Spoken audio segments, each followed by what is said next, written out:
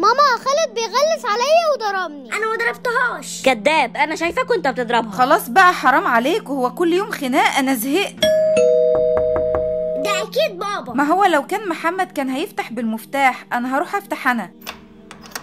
إزيك يا دينا؟ عاملة إيه؟ الحمد لله يا محمد. ما فتحتش الباب ليه بالمفتاح؟ هعمل إيه بس؟ ما أنت شايفة الشنط كتير قوي في إيدي. تعالوا يا ولاد خدوا الشنط دي ودخلوها جوه. جبت لي الحاجة الحلوة اللي أنا قلت لك عليها ولا نسيت؟ هو أنا أقدر أنسى برضه يا أيسل؟ جبتلك طبعا. حبيبي يا بابا. وأنا يا بابا جبت لي تيشيرت الكورة؟ أيوه طبعا. طب وأنا ما جبتليش حاجة. أنت بقى يا قلبي عسل جبتلك الكره نفسها بس أهم حاجة ما تلعبش بيها في البيت زي ما اتفقنا. شكرا يا بابا. ربنا يخليك ليهم يا محمد. أنت بتيجي على نفسك قوي علشان تبسط الولاد. الحمد لله يا دينا. بس انت مالك كده؟ بقالك كام يوم ما بتتكلميش ولا بتهزري زي زمان. إيه اللي حصل؟ والله يا محمد المسؤولية عمالة تكبر والولاد مش بيبطلوا خناق طول النهار وأنا تعبت. أنا عارف والله اللي انت فيه. ربنا يعينك. طب أقول لك على حاجة. خلي العيال يلبسوا وانت جهزي وتعالي نخرج شوية. يا ريت الولاد هتبسطوا قوي. أما أروح أقول لهم. وخرجنا ورحنا اتغدينا بره والولاد كانوا مبسوطين قوي. وإحنا ماشيين في الشارع بنتفرج على المحلات. قابلنا راجل غريب قوي ووقفنا. إزيك يا فندم؟ أهلا وسهلا. آه في حاجة ولا إيه؟ أنا مندوب شركة سياحة وبنعمل استبيان من الناس وبنجمع معلومات عن الأماكن السياحية اللي هم راحوها تمام بس أنا مش فاهم إيه الفايدة. حضرتك اللي هتستفيد علشان بعد ما بناخد المعلومات بناخد رقم تليفونك علشان شركتنا بتعمل سحب وبتبقى الجايزة رحلة مجانية من الرحلات اللي بنطلعها. كويس والله تمام ماشي. وطبعا جمع مننا المعلومات واديته رقم تليفوني وروحنا بعدها البيت على طول. كان الوقت اتأخر والولاد ناموا. مالك يا دينا مش عارفة تنامي ليه؟ والله يا محمد أيسل دي غريبة قوي. معظم اليوم بتقعد لوحدها وما بترضاش تلعب مع أخواتها زي الأول. وإيه الغريب في كده؟ يعني هي بنت واكيد مش هتلعب لعب الولاد. دي حتى قبل ما تنام بتعمل bye bye للسقف وبتقول له تصبحي على خير ولما بقول لها بتقول لمين كده؟ بتقول لصاحبتي. هي ممكن علشان بنت وحيدة على ولدين فبتعمل ليها أصحاب من خيالها ما تقلقيش يعني الموضوع عادي. وبعدين يا دينا انت تعبانة اليومين دول من شغل البيت أنا عايزك كده ترتاحي ونامي وما تفكريش كتير. ماشي تصبح على خير. وانت من أهله. وجه تاني يوم ولقيت رقم غريب بيتصل بيا.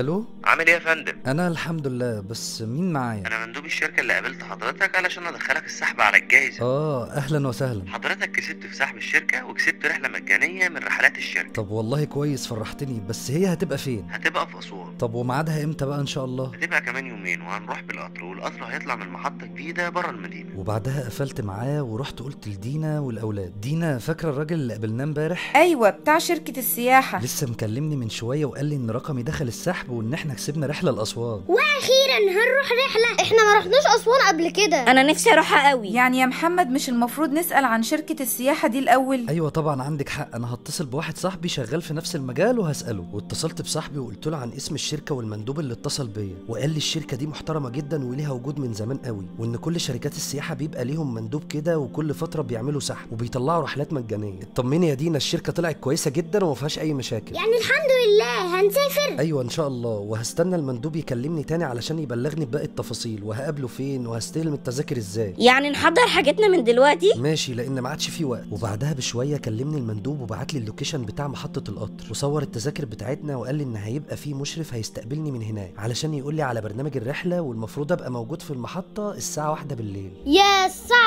واحدة. ما إحنا هنطلع من هناك قبل واحدة بكتير علشان المحطة دي بره المدينة وعلشان نوصل في ميعادنا. طب وإحنا هنوصل أسوان بعد كام ساعة؟ المندوب قال لي 15 ساعة. إيه ده كتير قوي. يعني كل الفترة دي مش هننام. ما هو القطر بيبقى فيه سراير وكل حاجة. أنتوا بس اللي مركبتوش قطر قبل كده ودلوقتي غير الأول كمان. وجه الوقت اللي حضرنا فيه حاجتنا ونازلين علشان نروح المحطة. ومشينا على ال location اللي المندوب بعتهولي وبعد ما وصلنا المحطة قابلنا المشرف. عامل إيه يا باشا؟ أنا رضا مشرف الرحلة. اتشرفت بمعرفتك. الشرف ليا أكيد. حبيبي والله. إحنا حجزنا ليكوا كابينة للعائلات وهتقعدوا فيها. طب تمام يا رضا تسلم. الراجل ده شكله وحش قوي. مين ده؟ اللي هناك واقف عند باب القطر. مفيش حد واقف. أنا شفته. وبعد ما دخلنا القطر جه العامل ووصلنا الكابينة وقعدنا فيها. اتفضلوا ارتاحوا عشان المدة طويلة وهنعدي على محافظات كتير. وكان طبعا الوقت متأخر والولاد كمان كانوا تعبانين ونمنا. وصحينا وكان الوقت تقريبا الساعة 6 الصبح.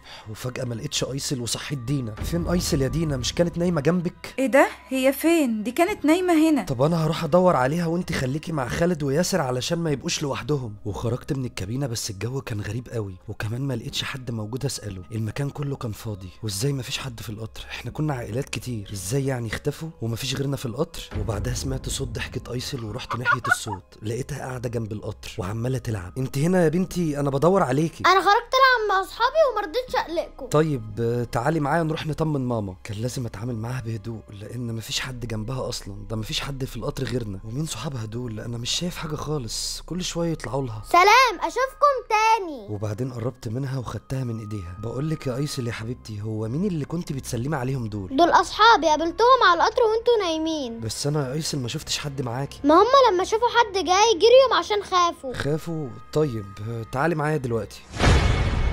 انت كنت فين يا ايسل؟ وايه اللي خرجك من غير ما تقوليلي خلاص يا دينا دي كانت بتلعب مع أصحابها. أصحاب إيه؟ ده إحنا صحينا من النوم وما لقيناش حد في القطر. هي الناس اختفت راحت فين؟ روحي انت نامي شوية يا ايسل. حاضر. هو في إيه؟ أنت هادي كده ليه؟ ولا كأني في حاجة. ما أنا يا دينا لازم أبقى هادي كده علشان ما أعرفش إيه اللي بيحصل وإحنا صحينا من النوم ما لقيناش حد موجود أصلا. وعايزين نعرف ايسل أصلا بيتكلم مين. أنا مش شايف حد أساسا. وبعد ساعتين لقينا عامل القطر جايب لنا الأكل. اتفضلوا الأكل ألف هنا. كنت عايز أستفسر بس عن حاجة. اتفضل. هو إزاي مفيش حد غيرنا في القطر؟ أنا كنت شايف عائلات كتير طالعة معانا. ما هم نزلوا في المحطة اللي قبلكم. آه تقصد نزلوا في المحطة اللي فاتت. الله الأكل شكله حلو وطعمه جميل. لا أنا مش عاجبني. ليه كده يا أيسل؟ ده حلو قوي جربي كده. وقعدنا ناكل وحتى العيال اتبسطوا قوي. هو ينفع تبقى الشمس لونها أحمر قوي كده؟ مش غريبة دي؟ ممكن يكون في حاجة في الجو أو مركبين حاجة على الشبابيك مخلية لونها كده. بعد ما خلصنا الأكل قعدنا شوية وقمنا نشوف باقي المكان. ورحنا المكان اللي بيحضروا فيه الأكل. بس ما لقيناش الراجل اللي جاب لنا الأكل في الكابينة. محمد أنا قلقانة قوي ومفيش حد غيرنا في القطر والراجل اللي جاب لنا الأكل ده شكله غريب قوي. الراجل شكله عادي يا دينا وبعدين مش هو قال لنا إن العائلات التانية نزلوا في المحطات اللي قبل كده؟ الراجل ده شكله وحش وكمان كان متعور. في وشه. لا يا أيسل ده شكله طبيعي بس يمكن علشان ملامحه مكشرة خليتك تفكري إن هو متعور. المهم يلا بينا نرجع الكابينة. طب ما نشوف أي حاجة نعملها ده لسه بدري على ما نوصل. أنا هطلع بره كده أشوف أي حد من المشرفين أو ألاقي أي حد أسأله عن مشرف الرحلة. أنا زهقان بقالنا كتير في القطر وما بنعملش حاجة. وأنا كمان زهقت إحنا هنوصل إمتى؟ ده لسه بدري تقريبا 8 ساعات. تعالوا نلعب مع بعض ونضيع الوقت. انت بتضحكي وبتلعبي مع مين يا ايسل؟ مع صاحبتي. صاحبتك إيه؟ ده انت قاعدة جنب الشباك ومفيش حد. عاجبك كده اهي مشيت. يا رب على الجنان اللي أنا فيه. إحنا دخلنا فين؟ الدنيا ضلمت ليه كده؟ إحنا ممكن نكون دخلنا في نفق. طب أنا هفتح كشاف الموبايل. أنا شايف خيال ناس ماشية بره الكابينة. مين دول؟ معرفش ده ما كانش في حد موجود. أنا خايف قوي. طب أنا هروح أفتح. لا ما تفتحيش أنا خايفة. خلاص اهدي يا أيسل مش هفتح الباب بس هنوصل لباباك إزاي؟ ده مفيش شبكة خالص. إيه ده؟ دي صاحبتي جت. الدنيا نورت تاني. وما عادش في خيال قدام الباب. اتأخرت ليه كده يا محمد؟ انت كنت فين؟ ده كان في ناس عمالة تخبط على الباب. ده أنا من ساعة ما خرجت وما قابلتش حد خالص أصلا. غريبة ده كان في ناس بتخبط جامد على الباب وايسل خافت ومرضتش أفتح وما كانش في نور. مفيش نور إزاي؟ ده أنا كنت ماشي والقطر منور عادي وما ضلمتش خالص. محمد أنا خايفة حاسة إن في حاجة مش طبيعية. طب يلا تعالوا نخرج مع بعض لأن المكان ده مش مريح ونحاول نخرج من القطر ده. بابا دي كل ساعات القطر واقفة على الساعة واحدة. أيوه صح أنا ما كنتش أخد بالي. وطبعا الموضوع ده خلاني اشك أكتر إن في حاجة غريبة وخفت على دينا والولاد. بابا أنا عايزه أدخل الحمام. ما أعرفش في حمام منين غير اللي كان موجود جنب الكابينة. تعالى كده نشوف وإحنا ماشيين. عايزكم بس تمسكوا في إيدين بعض كويس. ده في حمام هنا. طب ادخل وإحنا هنا مستنيين الحمام ده مخيف قوي. ليه كده؟ النور عمال ينور ويطفي كل شوية وحاسس إن في حد معايا مش لوحدي. طب يلا تعالوا عشان ندخل من هنا. لا ما تدخلوش من الباب ده خشوا من اللي جنبه. ليه يا ايسل صاحبتي قالت لي إن الباب ده خطر. وعرفت منين؟ هي كتبت لي على الشباك. مفيش حاجة مكتوبة على الشباك. بلاش ندخل من الباب ده يا محمد وخلينا ورا الكلام اللي بتقوله أيسل. وهو أنا همشي ورا كلام أيسل وإحنا في الموقف ده؟ أيوه لأن وأنت مش موجود النور اتطفى فجأة وما جاش إلا لما قالت إن صاحبتها جت. أكيد في حاجة هي شايفاها إحنا مش شايفينها. تمام هنمشي وراها ونشوف. وطبعا فضلنا ماشيين زي ما أيسل قالت وأول ما خرجنا من الباب اللي قالت عليه ولما جينا نوصل للباب التاني الباب اللي ورا فتح. وطلع منه العامل والمشرف والمندوب وكانوا جايين علينا بسرعة بس كان منظرهم مرعب وكان في جنب من وشهم مش موجود كان عظم بس. محمد أنا خايفة على الولاد هنعمل إيه؟ يلا بسرعة. الباب ده. وبعد ما خرجنا بسرعة لقينا نفسنا خارجين من باب أوضة قديمة كأنها في الصحراء. وفي راجل كان معدي قال لنا أنتوا إيه اللي جابكوا هنا؟ سألته وقلت له إيه المكان ده أصلا؟ قال لي ده مكان شركة سياحة كبير. كان حصل فيه حريق كبير وكان موجود فيه موظفين كتير بس كلهم ماتوا. ومن ساعتها وهو مهجور وبعدين مشينا شوية وشفنا العربية بتاعتنا كانت مركونة في مكانها. وخدت دينا والولاد ورحنا على البيت وكنا مرعوبين جدا. وتاني يوم اكتشفت إن ده كان فرع من فروع الشركة اللي كانت المفروض مطلعة الرحلة. واتحرقت. يا نهار أسود يعني كل اللي حصل ده خيال مش حقيقة؟ بابا أنا صاحبتي قالت لي إن هي اللي طلعتنا الرحلة دي وهي كمان اللي خلتنا نتخيل كل ده. مين صحابك دولي وهم بيعملوا كده ليه؟ اللي عايز جزء تاني من القصة دي أتمنى تشترك في القناة وتفعل زرار الجرس وتعمل لايك وتشير المقطع وأحلى مسا عليكم وسلام.